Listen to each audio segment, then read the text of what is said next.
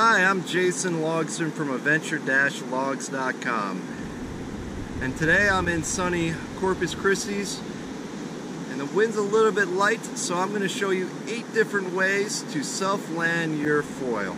Now I've been flying uh, foil kites for the most part of this last decade and this is what works for me.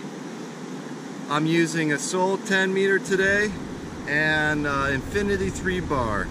And make sure you stick all the way to the end of the video where I'm going to discuss some of the most important factors, some tips and hits and suggestions to help make this process safer. Remember, if you ever get to the point where you feel unsafe, just pull the safety. It's not worth being dragged over. To me, I think self-landing a foil kite is one of the most dangerous, if not most dangerous things you can do. So make sure you practice quite a lot when it's light and a nice open beaches, not near people, get it down, get your kite skills down so when it's really nuking, you know what you're doing.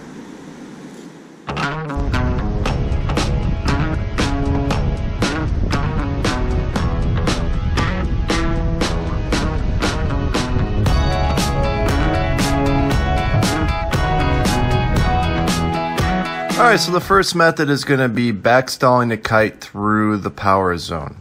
I use this mostly when the wind is light after a hydrofoil session. It's just quick and easy and without problems. All right, you start by having the kite at 12 o'clock. Go ahead and grab your steering lines and pull them in to start the backstall. Now, as the kite descends through the power zone, you're going to want to shift your weight back to overcompensate that and adjust the tension on the steering lines to help reduce the rate of descent. Now you don't want this kite to ever crash on the ground. It's really bad for it. So use a little bit of finesse. As you can see, when one side goes up, you just need to pull a little bit more on that steering line to bring it down, back down nice and even. Now once the kite is on the ground where you like it and it's fine. You can go ahead, unclip, and slowly start walking up the lines. If you notice, I never tangle up my fingers in the lines. I keep them nice and separated. That way, if the kite ever becomes overpowered in a gust or anything like that, I'm unable to hold on to the kite, I can easily let go of one side of the uh, lines, which essentially is pull, uh, pulling the safety. All right, once you have the kite secured, you're good to go. All right, method number two is the one I use most frequently. Uh, you bring the kite to the edge of the wind window and basically backstall it then. Uh, this way, uh, you get a little bit less pull from the kite when it falls into that power zone and is more manageable. So once the kite is sitting there at the uh, wind window, not doing anything uh, strange, you can go ahead and backstall the kite. Now, as you backstall the kite, uh, you also then run very quickly upwind of the kite. You do this so the kite doesn't move, you move instead. Uh, having the kite swipe across the ground can damage it, uh, can get snars and problems, so this is just the best way of doing it. I move, not the kite. All right, once the kite is sitting the way you want, you can go ahead and run up the lines and secure it. All right, method number three, I'm going to show you how to land a kite uh, using a fixed point. Basically, you can use anything like a tree, a post, uh, even a sea anchor, something like that. But uh, I had my uh, rim handy on my car and an old leash, so that will work as well. Now you have a couple options with this. You can go ahead and hook your tether in before you start the landing, or you can wait until afterwards to hook in. A couple cautions with hooking in before you land the kite is if you mess up and you let go of the kite and it relaunches, there's a very good chance that you may break the bar and then break your kite. Uh, so that's something to just keep in mind. Use caution if you're hooking in beforehand. Either way, uh, you just want to make sure that uh, you do just like the other two. Take your time, don't crash the kite, don't let it slide around if possible. Also, I know some people they do like just leaving the kite backstalled, connected to a post or whatnot while they do something else. To me, I rather take the couple extra seconds, go up and secure the kite with a sandbag or anything like that. Um, it just prevents other problems from happening.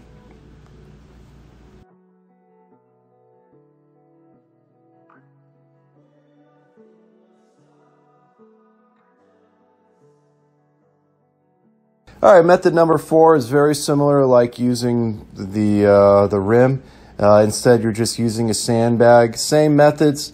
Personally, for this one, I definitely would not hook into the sandbag until after the kite is landed on the ground and where I want it. Um, just like using anything else, a sand anchor or whatnot, just make sure it has enough weight and resistance to keep the kite where you want it. Other than that, it's straightforward like everything else.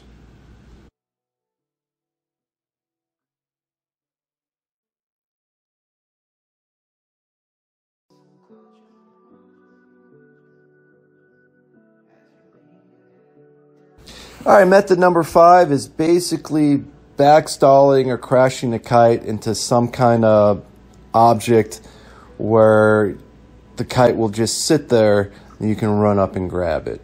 Uh, today wasn't the best of um, examples. Uh, usually, something like this, I'd rather use a post or something that's a little bit easier, but this will work just as well.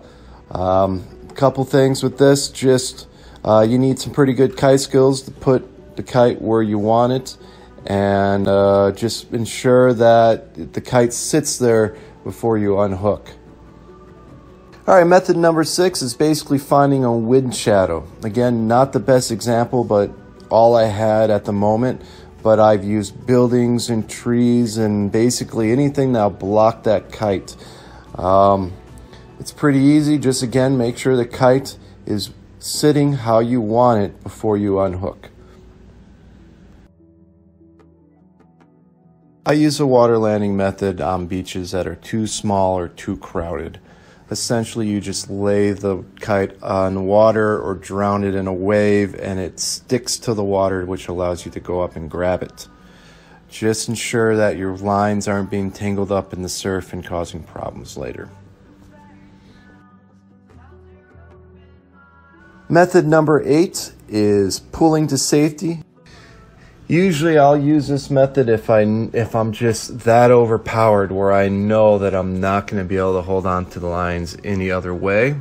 Uh, I do this a lot like backstalling at the edge of the wind window. Uh, it helps reduce the amount of stress put on the on the safety line and the one side of the bridle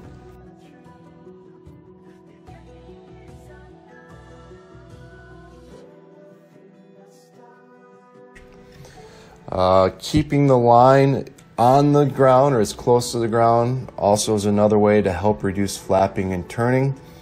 And then you just walk up the lines like every other landing.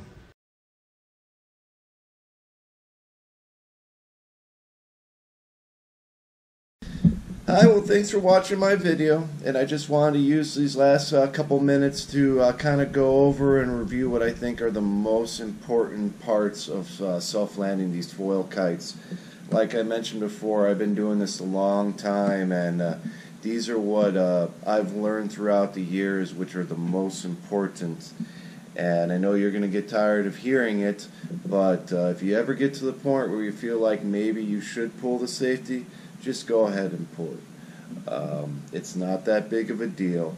Uh, if you do it right, uh, you won't get that big of a nest, and it's just it's it's better to do that than to hurt yourself or into your kite or anything like that. But let's talk, let's first talk a little bit about equipment and why I do what I do. I'm using the Flysurfer bar. Uh, the reason why I like the Flysurfer bar mostly is because I like exactly where those steering plastic balls are. For me, that's the perfect setup. I have used steering straps and I've used these balls, I've used them in combination. Personally, for me, I just need the steering balls. Not only are they good for landing, but they're also great in the water if you need to grab a, a line and to turn the kite really quickly, if you need to relaunch it, anything like that, to me it gives me the best control.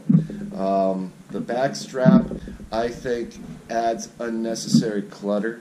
Uh, you've been flying kites long as me, you know that if something can happen, it will happen to me. That's just a tangle. I don't have as much control over it. I don't like it as much.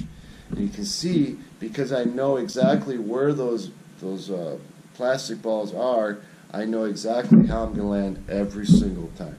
You see, I basically, I power fully, I fully power up on the trim. The reason I do that is because I know exactly when those two plastic balls are at the end of the bar, that's the perfect amount of backstall for my kite to sit there.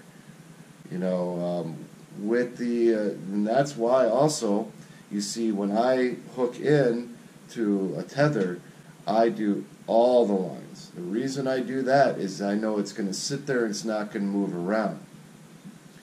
So with the strap, you don't have that much control. You don't quite know exactly what it is. So for me, I know exactly how much I need and it works perfectly.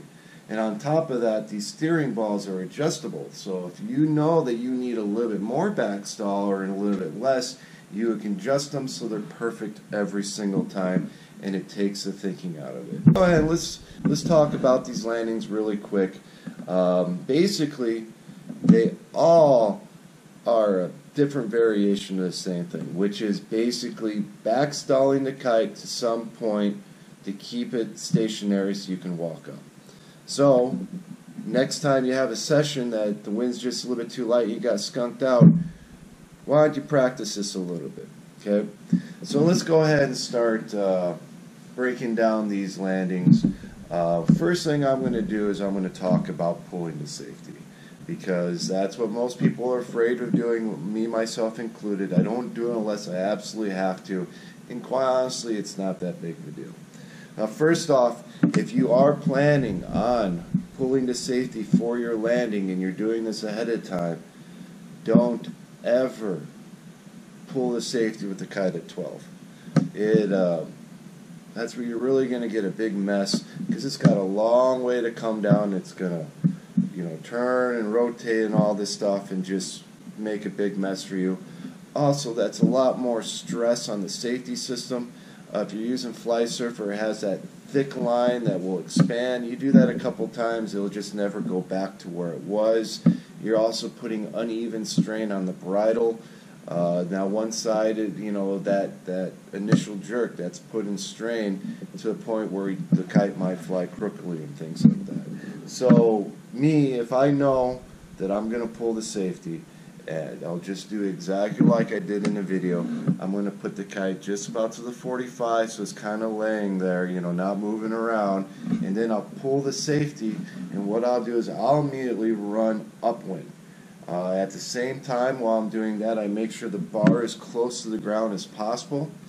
Um, moving upwind means that the kite moves less. The less the kite moves, the less tangles it is. Also, dragging it and things like that can cause problems. Uh, second, by putting the lines down on the ground, uh, you basically it helps reduce the flapping of the kite and it'll help it uh, reduce it moving around and things like this. And as you can see, um, I have increased the speed slightly, but it really isn't that big of a deal to recover from that. Uh, it just took me a couple minutes and nice slowly walking out the lines, kind of jerking them a little bit so that safety line goes through the bar. It's not that big of a deal. In less than a couple minutes, I was able to launch again. So really, it's not that bad of an option. Um, there's some times when I'm just that overpowered that that's the only option you have. So practice it. This is something that you don't want to do for the first time in real life. Um, you know, we are all kind of pilots. We're flying this wing. You know, use a little pilotage and you know, practice. Practice pulling the kite. You know, to safety. That way, you kind of know what's going to happen. Me, I don't like doing the first things in real life when I need to. I like to practice ahead of time. So enough of that safety deal. The uh, straight 12, uh, 12 straight down through the window, I use that when the wind is light. It's easy, but even that needs finesse. You never want to crash the kite to the ground. It's really bad for the internal structure. You might pop a cell. So what you want to do is if you notice while I'm landing the kite, I'm constantly moving those steering lines in and out. You know, the more you pull in, the faster it's going to backstall and the harder it's going to land. So it takes a little bit of finesse. And if one wing goes up, then you know you need a little bit more pressure on that wing up to bring it down. So this just takes time. That's it. See how long you can keep it in one spot. You know, see if you can flip it around, things like that. Just have a little bit of fun with it. The more you practice, then the easier it is. Now, if any time the wind is too strong for me to go back, straight back, I always do what I did on the second time, which, which was just bring it to 45 degrees, backstall it. While it's backstalling, I run upwind. I do this for a couple of reasons. One, you should never let your kite drag across the beach. It's bad for the fabric. Your bridle lines can get caught and they can get tangled or damaged. Um, something might get caught and you can relaunch it, anything like that. I don't like moving my kite across on the beach. So that's what I'll do I will run straight upwind so that kite's really not moving. And you do this good enough, then it's it's not hard, it's pretty easy, and that's the way to go. When a kite is just sitting there, if you've noticed, after all my landings, I like to take a moment. I like to wait, take a breath, and see what the kite is doing. I don't like any surprises. Also, you notice that if there was a wing tip that's kind of, you know, folded in or anything that's not fully open, I will shake that kite to make sure the kite is fully open. Anytime there's some kind of fold or anything like that, you're just asking for something unusual or unprepared to happen in that kite for the relaunch. Now there's a couple things you can see. If after you backstall that kite is just bouncing back and forth, that probably means you don't have enough back uh, steering line pressure. Now, if you have too much steering line uh, pressure and too much pulled in, that bottom uh, trailing edge can actually flip up. And when that happens, wind can get underneath it, the kite can flip and relaunch. So always kind of take a moment, see what the kite's doing, adjust if needed, and then go up to the kite. Now, very, very important when you bring your when you go up to your kite, never ever allow yourself to be able to be tangled in the lines. So what that means is you saw a couple times I came up and I rolled my fingers around the lines to get a better grip. Never do that. That's a great way to lose a finger. I always, I just have my lines and I put some good pressure on my thumb, and so they're nice and separate, and that's how I go up and I reach my kite. The reason I do this is one, there's no way to get tangled. Two, I can see these lines. So if there's a gust that happens or something unusual happens where the kite becomes uncontrollable or I just don't have the strength to hold on to it, I can easily let go of two, two lines and basically that's kind of like flagging the kite out. And uh, if that, on top of that, now that you have two and it's still, you can't hold it, then you can go ahead and reach the, the inner line and totally flag it out. So that's why I do that. It's, it's a really good way of going up. Also, if you notice, I'll, I do not like to, the straddle the lines either. I will be on one side of them. Again, if I have to let go of the kite and that bar comes flying up, it's not going to hit me. It's no big deal. I'd rather go run after a kite than hurt myself. So there you go. Eight different ways you can self-land a foil kite. If you have something that I haven't mentioned here that really works for you, make sure you put it down below. Something you don't agree with or something you want to add, same thing. Put it down there so everyone else can learn from it. Uh, this doesn't have to be that sketchy of maneuver. If you know it, it with practice, you can get this down and you can land them confidently and without issues every single time. So again, this is Jason Logsdon from adventure-logs.com thanking you for watching my video, and I'll see you guys out there.